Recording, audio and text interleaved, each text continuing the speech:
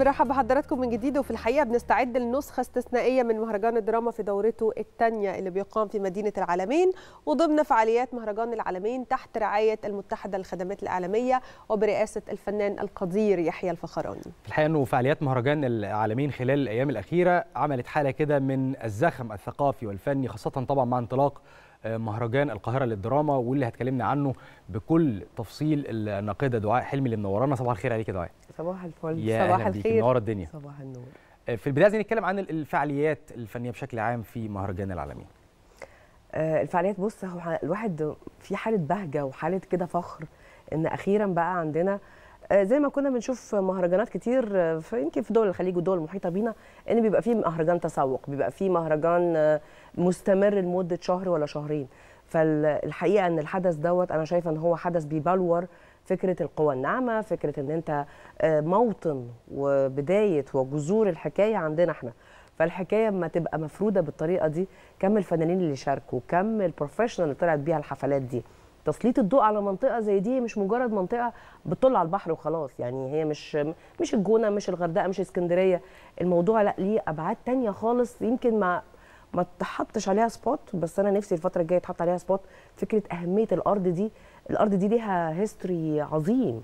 ففكرة الشهداء اللي موجودين أو الضحايا اللي موجودين المقابر بتاعتهم اللي فيها لا يقل عن 30 ألف جندي من مختلف الجنسيات الأحداث التاريخية اللي مرت على الأرض دي فال history مع كمان فكرة المناخ وفكرة الحتة البقعه دي اللي مش موجود زيها في كل بقاع الأرض ده مش مبالغة ولا إحنا بنقول لأ ده مالديف مصر لأ هي هي حاجة مختلفة. فالحدث إن أنت تبقى عامل عليه الضوء كشاف النور ضارب في المنطقة دي لمدة تقريبا شهرين آه، ده حاجة تستدعي التوقف كتير. إحنا بنتكلم ان دي النسخة الثانية من آه، آه، يعني مهرجان الدراما. إحنا النهارده نقدر نقول إيه المختلف عن النسخة الأولى؟ إيه اللي هيكون مختلف عن النسخة الأولى؟ آه، النسخة الأولى طبعا كانت هنا في القاهرة. مم. والحقيقة إن كان فيها برضو زخم وتقدير لأن دايما معروف إن المهرجانات بتبقى معمولة للسينما. مم. طول الوقت بيبقى بس كان عندنا زمان مثلا بيحصل إن ده كان بيحصل في ليله التلفزيون أو كان بيحصل إن كان عندنا في مهرجان للدراما بس بأشكال مختلفة. لكن المرة دي أما تقولي مهرجان للدراما لتكريم المتميزين على مدار سنة فالحقيقة ده برضو آه، شيء جيد جدا إنه بيحط الناس على track المنافسة ولو تلاحظي إن المسلسلات السنة دي وكأن إن هي طبعا ممكن تكون مش مقصودة إن ال quality كانت أعلى بكتير ال variety كان أعلى بكتير حالة المنافسة أعلى بكتير حالة التحدي أعلى من بكتير. قصة لصورة ده حقيقي. لممثلين لحتى حتى كنا لسه بنتكلم في المقدمة إن حتى الأدوار آه، التانية شايفين أداء من ممثلين رهيب. يعني يمكن ما شفناهوش قبل كده بصراحة كان مجهود كبير قوي حتى من المخرجين إن هم يطلعوا أداء متميز جدا من كل كرو العمل. وكأن آه، الناس بتقول أنا عايزه ابقى موجود السنة دي في مهرجان الدراما حتى لو ما اتقالتش صراحة. بس حالة المنافسة تخلق ده. زي مم. أي مهرجان سينمائي انت الأفلام كتير قوي بيبقى آه، نفسه يشارك في أي مهرجان نفسي ياخد تكريم نفسي ياخد جايزة نفسي ياخد شهادة تقدير. الحاجات دي هايلة وعظيمة للفنان وله الجمهور كمان إن أنا كنت متابع المسلسل ده فكان أنا شاورت عليه. وأنا كناقد برضو أقول نفس الحكاية إن المسلسل ده يستاهل أو ده ما يستحقش. فحاله القرار بمهرجان الدراما ده شيء عظيم والسنة دي كمان عشان فكرة وجوده في العالمين فالمواكبة الحدثين مع بعض آه، ده شيء هايل يعني. طيب وإحنا بنتكلم برضو لسه بنتكلم عن ال- العالمين ووجود هذا المهرجان فيها. وجود هذا الكم الكبير من الفنانين الكبار والعظماء اللي ليهم مكانة كبيرة جدا في قلوبنا كمصريين أو حتى في الوطن العربي كله أعتقد ده ليه دور كبير جدا وانعكاس كبير جدا على الترويج للسياحة في مصر. صحيح. انت في اي دولة في العالم لازم بتحط اول خط الدفاع الأول عندها نجومها. آه، هوليوود بقت هوليوود أو أمريكا بقت أمريكا بالحلم الامريكي بالسينما الامريكية. فحطت الجندي بتاعها الامريكي على هنا على خط الدفاع والفنان بتاعها أو السينما أو اللي بتقدمه هي دي اللي عملت الترويج والتسويق للحلم الامريكي كله. أمريكا بقت أمريكا بالسينما. ومحدش يقدر ينكر ده بجانب طبعا قواها المختلفة بس هي كمان استخدمت ده كسلاح وكخط دفاع وكجيش آه، فتعاملت مع الفن باعتباره آه، قوة أساسية. فالحقيقة إن مصر هي اوريدي كانت بتعتبر ده من بداية السينما وهي كانت معتبرة ده حقيقي. آه، فبالتالي استغلالك للمنطقة دي منطقه الفن إن هو يبقى الواجهة بتاعتك وإن أنت بتتباهى بيهم لأن برضو ليهم عمق تاريخي زي العالمين بالظبط. ما احناش ولاد امبارح ولا إحنا بتوع ترندات ان فنان طالع مطقطق ولا blogger ولا العمق التاريخي ده هو اللي بيديك ال variety المختلفة هو اللي بيديك الأجيال المختلفة دي. مم. فالأجيال الممتده اللي بتسلم بعض زي الفنان مثلا يحيى الفخراني يبقى رئيس مهرجان الدراما وشوف وراه كام جيل تلفزيوني يشتغل معاه أو يتمنى يشتغل معاه اتعلم هو منه. ده بقى. بالظبط. فهو ده اللي بيديك ال- التقل اللي إحنا بنتكلم فيه فكرة طول ما انت عندك جذور ما تقلقش نهائي لأن الجذور صلبة فبالتالي تقدر تشيل الخوف ان ما يبقاش فيه جذور ويبقى بس الشكل الشجرة حلو بس هي فور معرضة للسقوط يعني. يعني فكرة إنه آه، ممثل قدير زي يحيى الفخراني رئيس للمهرجان مهمة جدا جدا لسبب إنه زي ما حضرتك قلتي هو هو علامة من علامات الفن المصري آه، سواء على المسرح على ال- التلفزيون الدراما السينما ايا كان مفيش دور هو لعبه ما أبدعش فيه. آه، أهمية اختيار آه، آه، رئيس للمهرجان بقيمة وقامة يحيى الفخراني.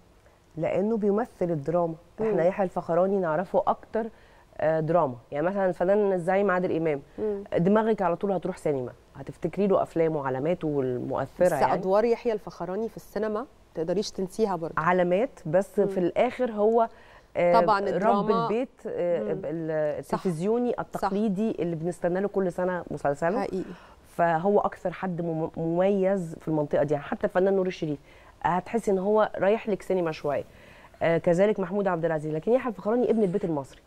فبكل أطيافه بكل مسلسلاته شفناه من وهو شاب. فبالتالي انت متابعة وكأنه آه، كان أبو البيت دوت أو كان أخوكي أو كان على حسب الفئة العمرية.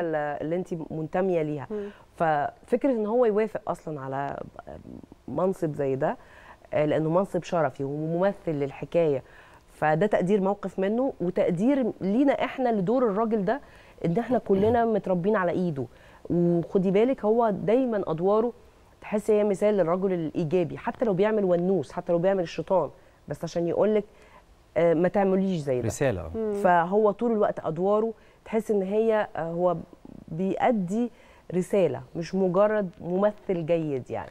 عظيم. طيب دايما رأي النقاد مهم جدا. أنا مؤمن بده جدا.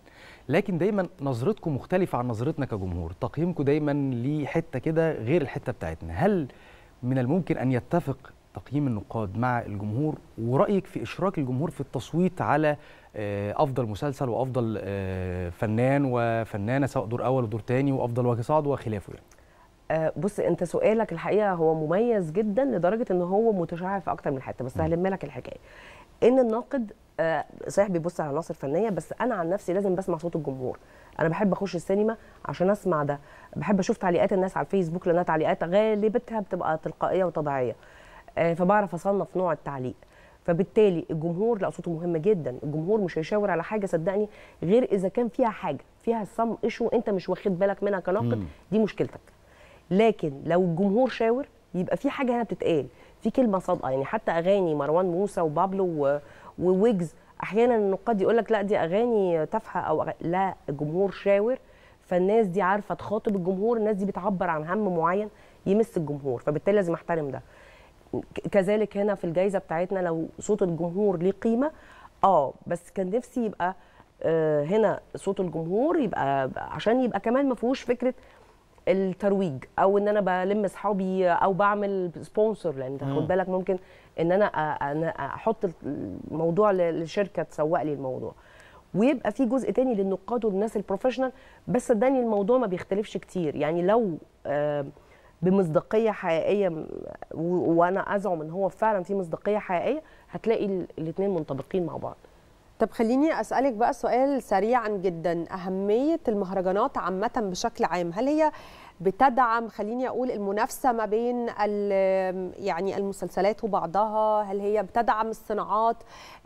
يعني خليني أتكلم عن أهمية ال- المهرجانات بشكل عام. وحرص خليني أقول الممثل لما يبقى عارف أو المخرج أو المؤلف أو الكاتب ايا كان لما يبقى عارف إن في مهرجان هيتقيم فيه ال- العمل مش بس من خلال الشاشة لا كمان الجمهور هيشاركوا والنقاد هيشاركوا وأكتر من حد حرصهم على إنه لا أنا لازم أنجح العمل ده أنا لازم أخاطب أم، أكبر شريحة ممكنة في المجتمع المصري. آه، أي مهرجان في الدنيا محتاج آه، مصداقية. فالمصداقية دي بتيجي تراكمية مع الوقت وبالذات لما تكون الدولة هي راعية للحدث فبالتالي ال- انت داخلة بكريديبيلتي مضمونة. الحاجة الثانية أي مهرجان في العالم بيبقى إن هو يخلق المنافسة يخلق التشجيع يخلق الدعم وده المفروض إن هو يتم بشكل أكبر إن شاء الله الفترة الجاية دي فكرة الدعم. لكن كمان لازم يبقى ليها آه، جذب سياحي وده اللي حصل المرة دي في مهرجان الدراما مفيش مهرجان سينما في العالم غير تلاقي مهرجان كان مهرجان فينيسيا. لازم هتلاقي إنه آه، بيروج للسياحه هنا لقطنا الخيط من ده واتعمل مهرجان الجونة.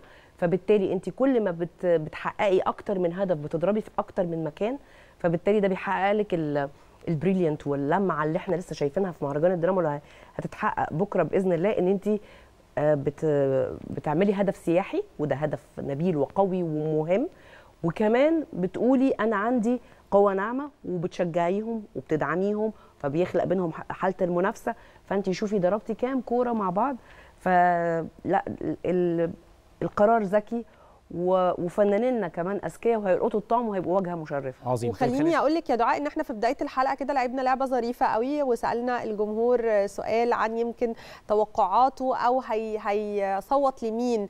وبالمناسبة التصويت على موقع www.starscrappers.com خليني ألعب معاكي نفس اللعبة وأسألك نفس الأسئلة اللي سألناها للجمهور في بداية الحلقة. انت بتتوقعي بقى كناقدة من عين الناقدة مين آه، هيفوز بأفضل مسلسل أفضل آه، نجم ونجمة طبعا أبطال يعني دور تاني ومؤلف ومخرج؟ أعتقد يعني أنا أنا عن نفسي لو أنا اللي بدي الجوائز يعني هبقى مم. متحمسة قوي لمسلسل تحت الوصاية. تحت الوصاية. آه لجدية مم. الموضوع ولطازجه الموضوع في إجماع عليه على فكرة. professional. والحقيقة إن كل العناصر فيه مكتملة بشكل كبير اذا ده أفضل مسلسل بالنسبة لك. okay. آه، نجم أو نجمة؟ آه، منى زكي على طول. ونجم؟ نجم آه، إحنا السنة دي ما كانش عندنا يعني أو إحنا مصابين في, في, في شوية في الممثلين بتوعنا. واضح إن البنات أو الستات آه، متميزين كده كده أشطر في- في كل حاجة. فاه شاطرين. فأنا مش لاقية حد. خليني أقول لك كده كده أشطر. آه مش لاقية حد. طب فكريني غير طب يعني آه، مثلا خليني أقول آه، محمد رمضان آه، ياسر جلال مثلا طيب كلهم، دور, آه. دور آسر تاني إيه؟ آسر ياسين. إيه؟ آسر ياسين. مثلا. آسر ياسين ما كانش عندنا حاجة السنة دي بس عموما لا مش لاقية بصراحة حد عندنا في مشكلة فعلا في في النجوم الذكور إن عندنا مشكلة إن كلهم بقوا شبه بعض. مم. ودي نقطة لازم تتقال لهم فكرة إن كلنا body building وكلنا بنلعب عضلات وكلنا آه، وما بنهتمش بالورق قوي. مم. البنات بتهتم أو الستات والله بتهتم. والله والولاد وآسر ياسين عامل دور حلو قوي في الكتيبه 101 والله آه بنهتم. آه تصدق صح. بنهتم كلا مش عارف أنتوا مركزين قوي على ال- النجمات والبنات وكأننا ملناش وجود في, السينما. متحيزين طيب. أيوه. طب خلاص آسر ياسين. طيب الدور تاني.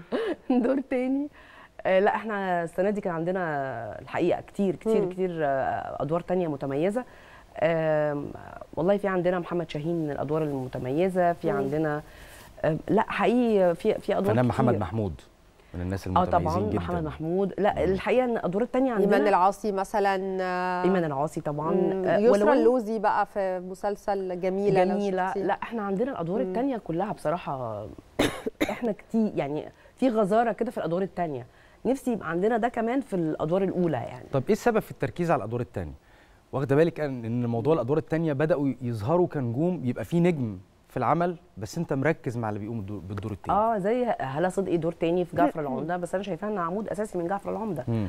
فبالتالي ليه؟ لأن هو اولا بيبقى عنده حماس وعايز يثبت نفسه دي حاجة. الحاجة التانية دايما ال- ال- النجم بيبوظ الورق. بس يعني والله خالد النبوي في الإمام ثواني بس ما تشوف الموضوع ده بتقول بيبوظ الورق. خ... آه. بس خالد النبوي في الإمام مش عارفة تو- توافقيني ولا طبعا لأ. طبعا. خالد النبوي في منطقة تانية خالص ده في منطقة لوحده. آه. ده حقيقي. ما ينفعش يتحط أصلا أعتقد ما ينفعش يتحط في المنافسة لأنه هو ده بقى اللي بيشتغل على الورق مش بيبوظ الورق. مم. يعني خالد النبوي بياخد الورق يشتغل على دوره لكن النجوم التانيين بيبقى بيشتغل على إن هو يطلع نجم ويبقى بيضرب ويبقى بيقتل ويبقى بيعمل. فين الدراما؟ مش مهم. لكن خالد النبوي بيدور على الدراما بدليل الفيديو اللي إحنا شفناه مثلا مع الوجه الجديد آه، مم. الغلوشي وقعد يديله أداء. هو همه على إيه؟ همه على الدراما. على العمل على العمل ككل مش دوره كمان هو بس. آه. فهي دي مشكلتنا في النجوم الذكور شوية إن هو عينه بتروح على النجومية إنه عايز يعمل كل حاجة وما فيش حد بيقدر يعمل كل حاجة. مم. فلا خالد النبوي في منطقة لوحده خالص. هايل. طيب السينما والتلفزيون بشكل عام من المجالات اللي دايما بتحتاج لنقد دائم وبتحتاج إلى تقييم باستمرار. أنت حاسة بالمسؤولية أنتوا عليكم مسؤولية كنقاد آه، فنيين خاصة في هذه المرحلة اللي بنمر بيها دلوقتي؟ آه، محتاجين ناس صادقة في كل. المجالات صدقني. مش بس في ال- في النقد. لأن الناقد لو مش صادق يبقى زي قلته النقد اللي هو بيقوله. إحنا محتاجين المصداقية محتاجين الضمير محتاجين الشغل اللي بجد في كل المجالات وفي كل حتة. آه، البلد محتاجة ده عشان تكمل النهضة بجد على المستوى الإنساني مش بس على مستوى إن الناس المسؤولين بيعملوا حاجات كويسة بس إحنا الجمهور أو المواطن حاسس إن هو بعيد. لا أنا لو عندي بس المصداقية آه، أنا كسبت في كل المجالات. ما أعتقد إن ال- المصداقية دي ممكن تيجي بإنه ما يكونش في علاقة صداقة ما بين الناقد والفنان. حقيقي. حتى ولو. آه، المهم ده شغلي. آه، ما حدش يسألني فيه ما حدش يقول لي طب قولي ما تقوليش طب أنا زعلت طب أنا اتقمصت. كل الحسابات الشخصية اللي تقولي. رايك أنت ممكن تقولي رأيك في فنان صديق ليكي مثلا وما عجبكيش العمل بتاعه؟ آه آه، بحاول أقول ده. آه، وإذا مش هقدر أقول في حساسية أو في تحرج بسكت. لكن لو اتسألت لا بقول. مش لازم يكون النقد لاذع يعني ممكن ممكن بناء زي. ما بيقولوا. آه آه إن يا نصيحة ريت نغير الكرو يا ريت نغير ال look. يا ريت نقول حاجة نلعب في منطقة مختلفة. قلتي اللي انت عايزة تقولي إن ده مش حلو بس بشكل آخر. أنا في الحقيقة سعيدة جدا جدا ب خليني أقول الوجبة الدسمة من الدراما المصرية اللي كانت موجودة ده في شهر سواء في شهر رمضان أو خارج المنافسة الرمضانية لأن شفنا وزي ما اتكلمنا مع حضراتكم في البداية عن آه، اختلاف يمكن ال- الوجبات اللي كانت بت- بتقدم لينا من الأعمال الدرامية من أول التاريخية للكوميدي آه، للدراما للأعمال اللي فعلا اجتماعية بتمس المشاكل اللي يمكن بيتعرض ليها أو بتتعرض ليها المرأة في المجتمع أو حتى الرجل في المجتمع.